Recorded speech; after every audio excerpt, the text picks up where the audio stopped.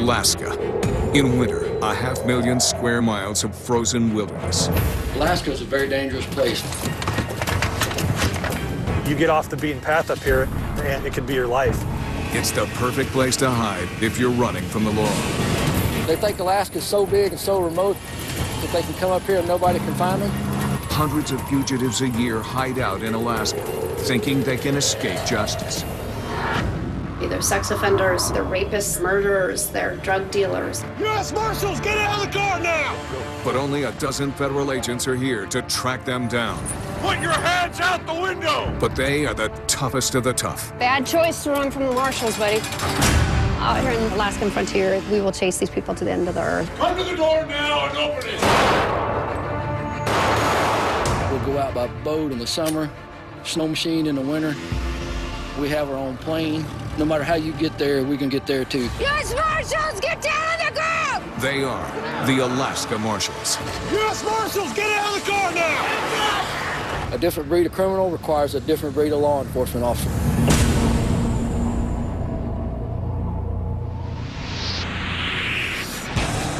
December.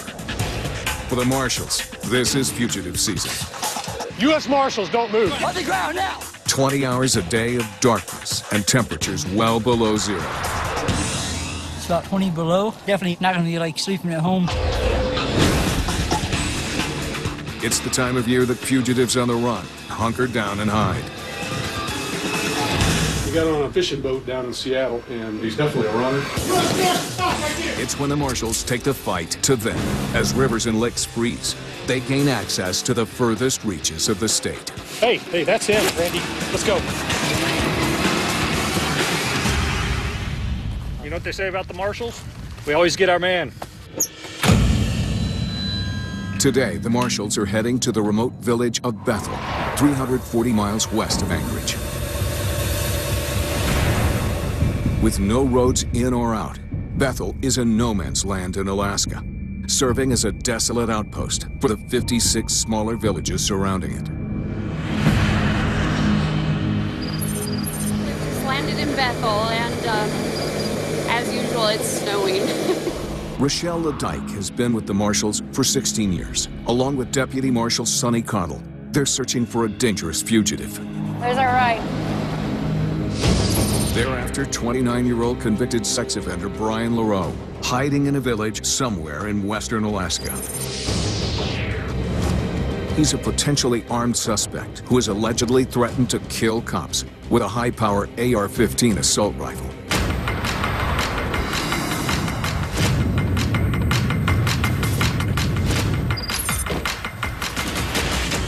Right now we're walking into the Alaska State Troopers post. We got one snow machine out here outside. We'll have to get ready for the trip.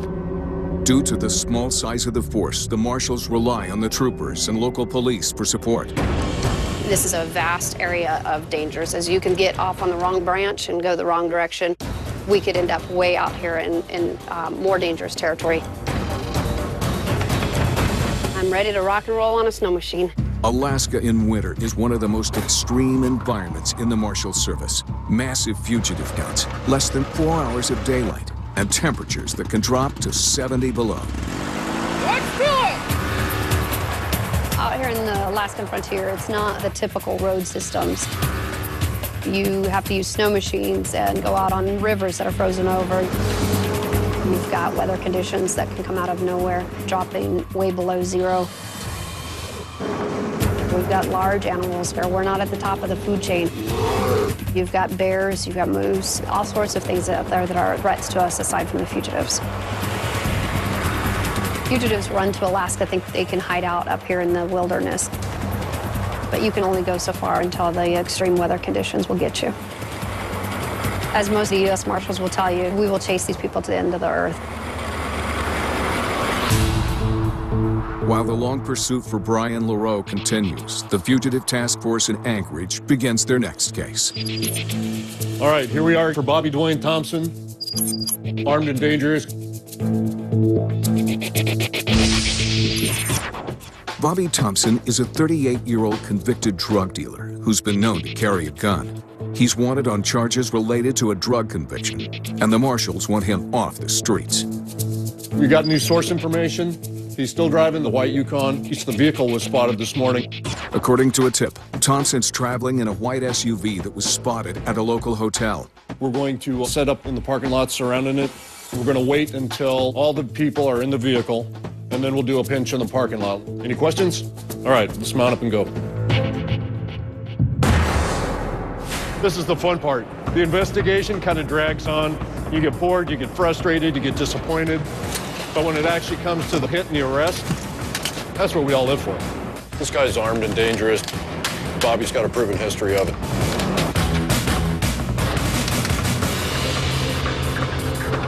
Kevin Gwynn is the lead investigator on the Thompson case. He's been a marshal for over 23 years. Riding shotgun is rookie marshal Tana Kirklight. We can assume Bobby is going to be hostile. We can assume Bobby is going to be armed. So the whole objective is to hit hard and fast. Bobby has been through this game a lot of times. Gwynn and Kirklight are the first to arrive at the hotel. Isn't that our Yukon over there? We've got the car, we've got the Yukon. Copy, dude. Can you see it at all? Oh, I can see the front end of it. You can just see the just the white of it. They set up surveillance across the parking lot and wait for the others to arrive. He's leaving. He's pulling out. Who is? He's out. Our guy. Target's moving. He's coming out.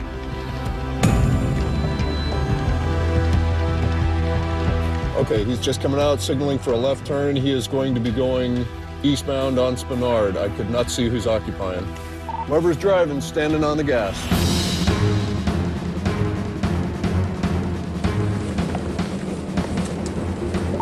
Jeff, you're going to have the eyeball in about 10 seconds. Jeff and I think it's, it's probably, you know, they might be picking him up though. We went in around right here, just hooked around the corner there. The Yukon pulls into the parking lot of a second hotel. This is not the kind of thing we want to do in a crowded parking lot, but in the end, it's the bad guy's decision. We spend a lot of time reacting to what the bad guy does. We actually have the target vehicle in sight right now. We followed it from one hotel to another. The marshals take up four tactical positions around the hotel and suspect vehicle. When Thompson comes out, they'll swarm his car, cutting off his chances to run, or, if he has a gun, to start shooting. I am directly across the street looking at this vehicle. I will be able to tell if he gets in it. And if he does, we need to block him in right here. Now, the white Yukon is parked directly behind the hotel right now that we have information that he may be in. David Long is the task force commander. A 20-year veteran of the Marshals, he's made every kind of tactical takedown. That vehicle is tied to Bobby. We're watching to see if he'll come out the back door of this hotel. We're going to start moving as soon As we see him, We're going to pull in right behind him. We're going to start the takedown right there. and then everybody else fill in behind. Everybody's getting ready. Everybody's taking a deep breath. Any takedown that you do like this, you got to do it hard and fast. Speed, shock, and surprise. That way nobody gets hurt. But in reality, it takes one monkey wrench. A car stopping in front of you, you know, maybe you slip on the ice. That gives them enough time to go for a weapon or to make their escape.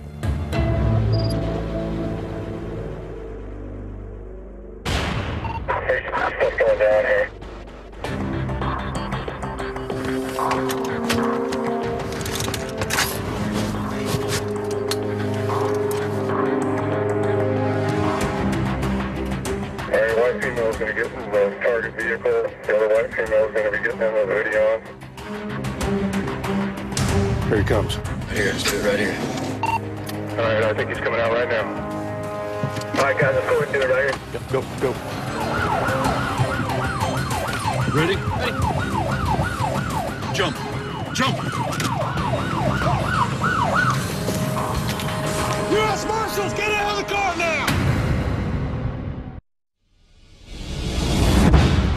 The U.S. Marshals Alaska Fugitive Task Force is after Bobby Thompson, a convicted drug dealer believed to be armed and dangerous. They're waiting for Thompson to exit this hotel, where they can surround him in this SUV and bust him. We're going to start moving as soon as we see him. bro. You're going to pull in right behind him. Start the takedown right there. There, and then everybody else fill in behind. Approaching any vehicle poses the greatest threat to law enforcement. April 22nd, 2011, Tomah, Wisconsin. Officers are after 28-year-old shooting suspect Seth McCloskey. After a high-speed pursuit, McCloskey pulls over. What happens next is law enforcement's worst nightmare.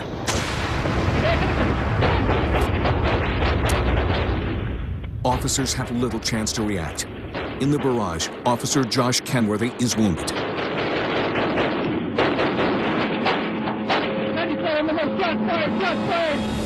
For the marshals, the risk is losing the element of surprise, giving Thompson a chance to exit his truck shooting.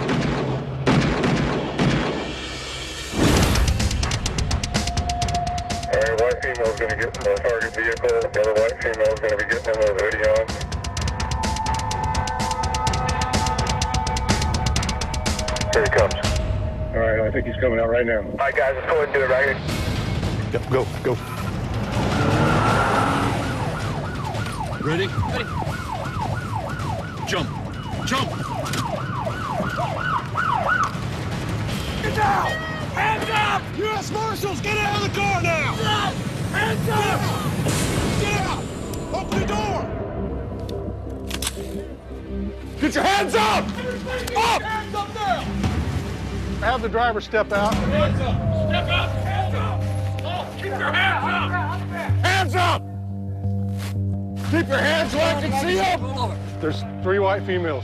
We got one passenger in the back seat as well. Get your hands up. Keep your hands where I can see them. Hands up now!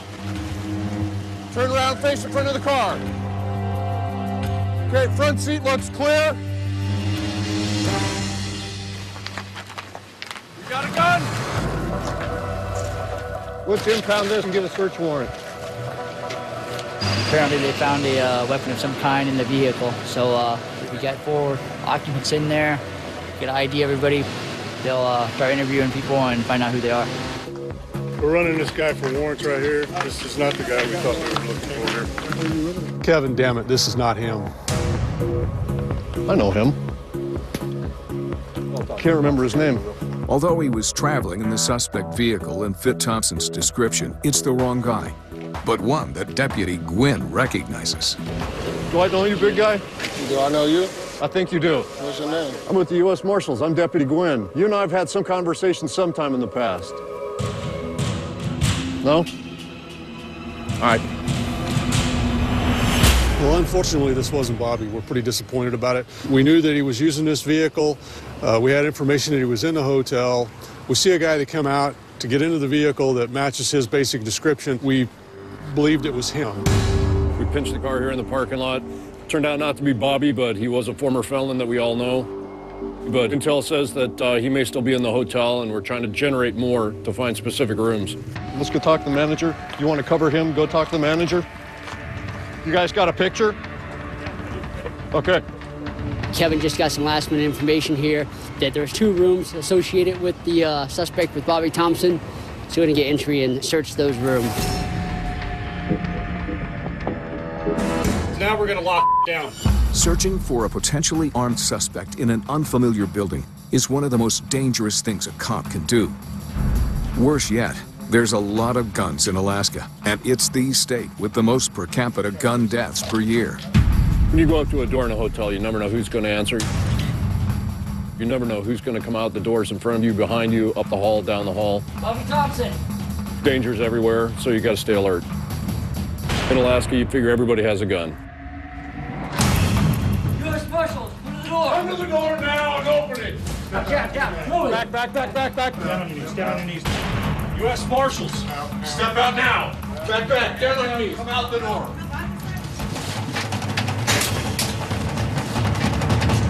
Police, U.S. Marshals. Get down there, let's see your hands. Bobby. U.S. Marshals, go to the door. Police. He's on foot. He's on foot somewhere five minutes ago. Before the marshals could lock down the hotel, Bobby Thompson slipped away. Tell Dave, see if we can break off and just cruise the area. So we searched those two rooms. We searched all the common areas. Turned out that we missed Bobby by about five minutes. In Alaska, there's a lot of places to hide, especially if you have a support system. Bobby has a good support net here. He's got a lot of places to hide. Some we know, some we don't. and we burn them down as we know them. This place is done. The quicker we cut his support system, the quicker we'll have him in jail. We've put enough heat here, so now we've closed another door. Each time we close a door, it just makes it harder for him to find another one to get in. For the marshals, the search for Bobby Thompson continues. Meanwhile, in the western frontier of Alaska, Deputy Marshals Ledyke and Cottle are searching for convicted sex offender Brian LaRoe, believed to be armed and on the run somewhere near the village of Bethel. Okay. And then I've got down a brother. Is that another brother of his too then? Mm-hmm. Oh, really? Staying in Gray House by his dad? Okay. It just got information that he's down staying by his dad's place. Sounds good. Sounds good. We're going out. We've got two police department officers ahead of us, kind of leading the way. They've said that they will um, shoot it out with officers and that they have AR 15s that they're not afraid to use. Need to take that seriously for sure. In the Alaskan villages, locals survive by hunting, and most homes have a high-powered rifle like the AR-15. It packs enough punch to drop a bear in its tracks or tear through a bulletproof vest.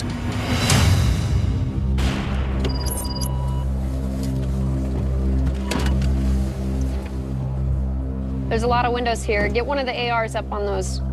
Sonny, you cover the back in case he goes for it.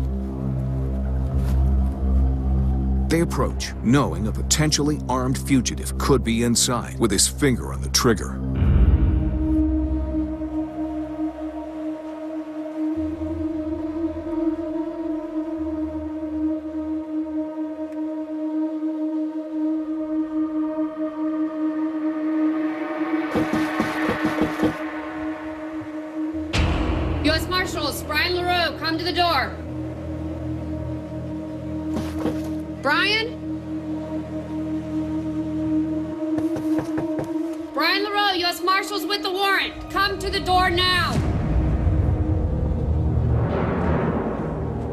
This doesn't look like anybody's been living here for a while. Looks abandoned.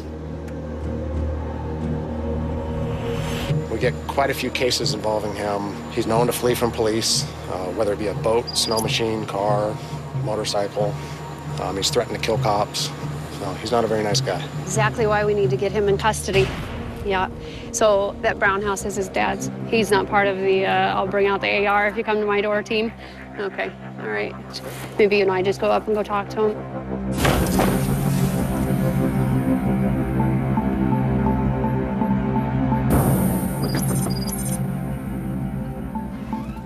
Hi, I'm Rochelle Ledyke with the U.S. Marshals, and we're looking for Brian.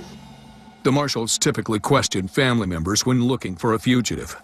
You've been out of town. How about his dad? Has his dad been around? They're trained to read body language, and even a lie can help betray a fugitive's location. That's not totally true because I, I spoke with her the other day, just two days ago. Sensing that Brian is close, they decide to check out another location. We can always go check out the house of his friend. He's been seen down there lately. Down, down there in the greenhouse? Okay, all right. We'll head over to the greenhouse.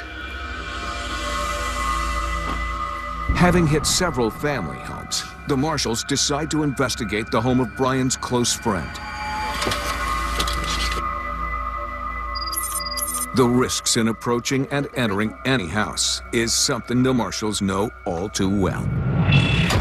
Two men are dead after a shooting in Elkins, including U.S. Deputy Marshal Derek Hotsinpiller. February 2011. 24-year-old Deputy U.S. Marshal Derek Hotsinpiller approaches a house in Elkins, West Virginia, looking for a wanted fugitive. Once inside, the suspect opens fire on the marshals, hitting Hotsinpiller in the neck. He would die that evening. Um, hey, Sonny, can you cover the back in case he tries to flee out the back? Brian? Brian, come out. Where is he? U.S. Marshals, where's Brian LaRoe? He's inside. He's inside. Brian? Brian LaRoe, U.S. Marshals. Brian? Hey, open the curtain. Put your hands up now. Marshals Ladyke and Cottle, along with local police, are searching for fugitive Brian LaRoe in the remote western village of Bethel. He's a convicted sex offender, allegedly armed and threatening to shoot police. Um, hey, Sonny, can you cover the back in case he tries to flee out the back? U.S. Marshals, where's Brian LaRoe? Brian? Brian